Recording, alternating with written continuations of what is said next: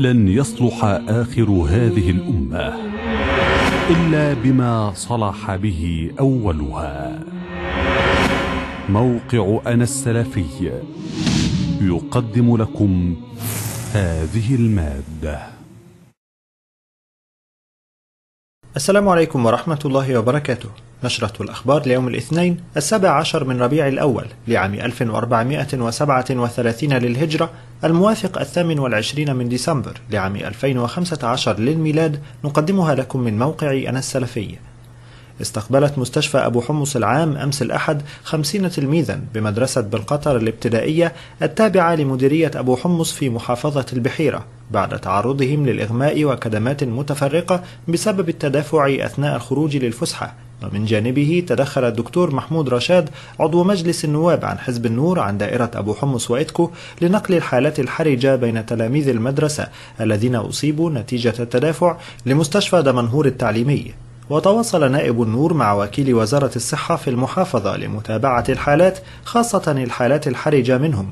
وطمأنت أولياء الأمور على صحة أبنائهم وطلب رشاد بالتحقيق في أسباب التدافع وتحويل المسؤولين إلى الجهات القانونية واتخاذ الإجراءات اللازمة ضدهم حرصا على سلامة التلاميذ خاصة أنهم في سن صغيرة.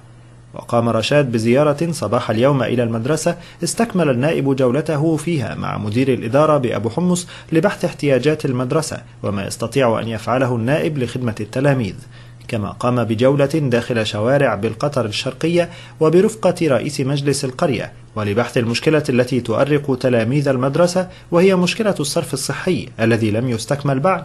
وتحدث رئيس مجلس القرية بأنه يحتاج إلى لوادر وجليدر من مجلس مدينة أبو حمص وقام النائب فور علمه بالمطلوب بالاتصال برئيس مجلس مدينة أبو حمص المهندس خالد عمارة ووعد بأنه سيرسل الآلات المطلوبة لمجلس القرية.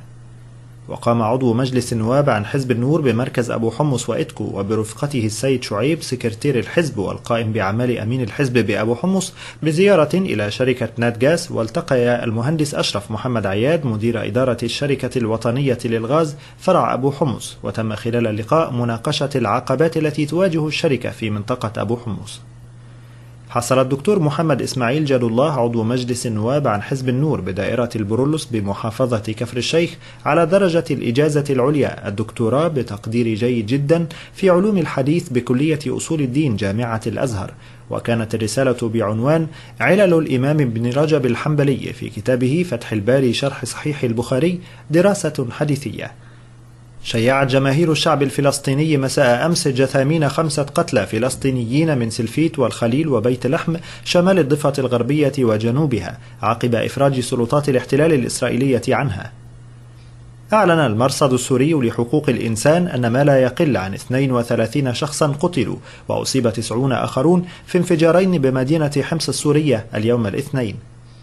طالب الائتلاف الوطني لقوى الثورة والمعارضة السورية جامعة الدول العربية في مذكرة قدمها وفد من الائتلاف برئاسة هيثم المالح مسؤول اللجنة القانونية خلال استقبال الدكتور نبيل العربي الأمين العام للجامعة له أمس الأحد بمقر الجامعة العربية عقد اجتماع طارئ لمجلس الجامعة على مستوى وزراء الخارجية حول سوريا.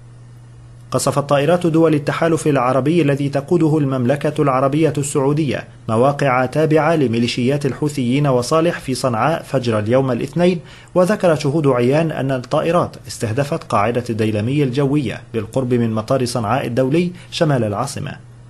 اتهم الرئيس التركي رجب طيب أردوغان إيران بتبني سياسات طائفية في سوريا عبر دعمها لبشار الأسد. واتهم أردوغان كل من إيران وروسيا وتنظيم داعش والمقاتلين السوريين الأكراد بقتل الأبرياء بدون رحمة في سوريا. حظرت السلطات الفرنسية المظاهرات في أجزاء من مدينة أجاكسيو عاصمة جزيرة كورسيكا في أعقاب يومين من الاحتجاجات المعادية للعرب والتوترات الطائفية.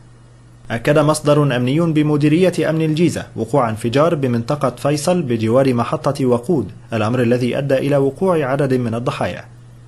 أصدر الرئيس عبد الفتاح السيسي قرارا بتعيين ثلاثة أعضاء جدد بهيئة كبار العلماء بالأزهر الشريف.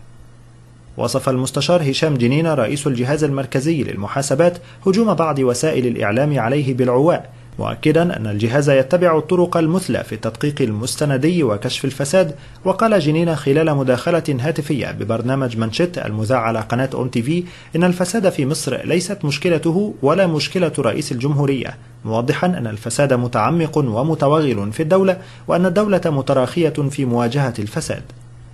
أكد الدكتور رضا عبد السلام محافظ الشرقية السابق أن المحليات مليئة فساد للركب على حد تعبيره قائلا أنا في قمة الطمأنينة والسعادة وأديت ما علي واجتهدت بما يرضي الله وأحترم تماما القرار السياسي برحيلي.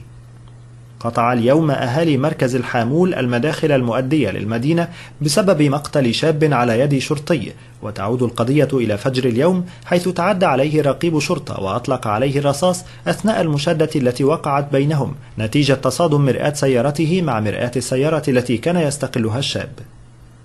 نظمت نقابة المحامين بدمياط وقفة احتجاجية اليوم الاثنين أمام محكمة شطا بمركز دمياط احتجاجا على فرض المستشار السيد حامد رئيس محكمة دمياط الابتدائية رسوما تحمل المواطن والمحامي أعباء دون سند من قانون وبالمخالفة للقانون واتخاذ العديد من الإجراءات التي تعرقل العمل أمام المحامين.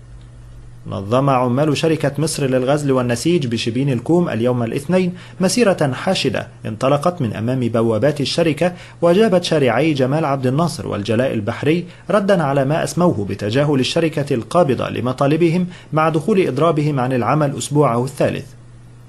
قامت مديرية أمن مطروح بإزالة 56 منزلا ومحلا وسور مباني بدون ترخيص وبالمخالفة للقانون على أراضي مملوكة للدولة وغلق فندق سياحي شهير بالساحل الشمالي وذلك في إطار حملات أمنية مكبرة لإزالة المخالفات.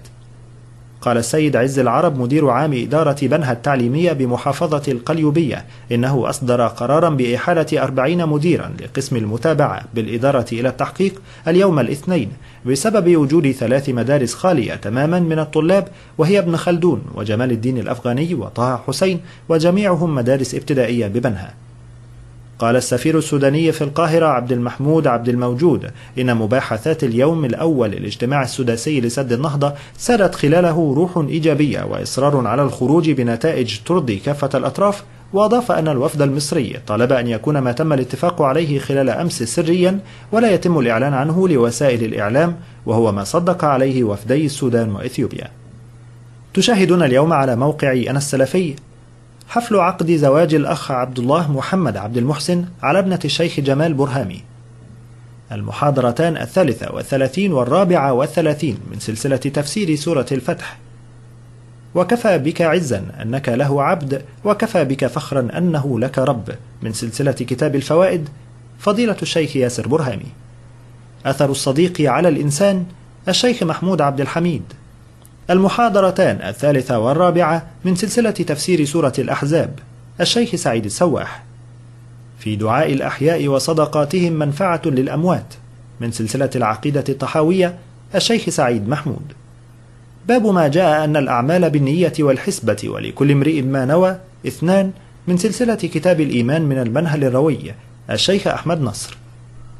تقرؤون اليوم على موقع أنا السلفي العمل البنائي العلمي والتربوي كتبه ياسر برهامي ثقافة التبرير كتبه مصطفى دياب تفريغ المحاضرة الثامنة من سلسلة الولاء والبراء المهندس عبد المنعم الشحات ومن جديد فتاوى فضيلة الشيخ ياسر برهامي هل كان الإمام البخاري رحمه الله أعمى؟ ماذا ينبغي على من وجد كنزا في بيته أو أرضه؟ حكم صلة الرحم للقريب الكافر من أحكام النظر أول مرة لمن أراد خطبتها هل هناك فرق بين أوجه البر والصدقات؟ انتهت نشرة الأخبار من موقع أنا السلفي السلام عليكم ورحمة الله وبركاته.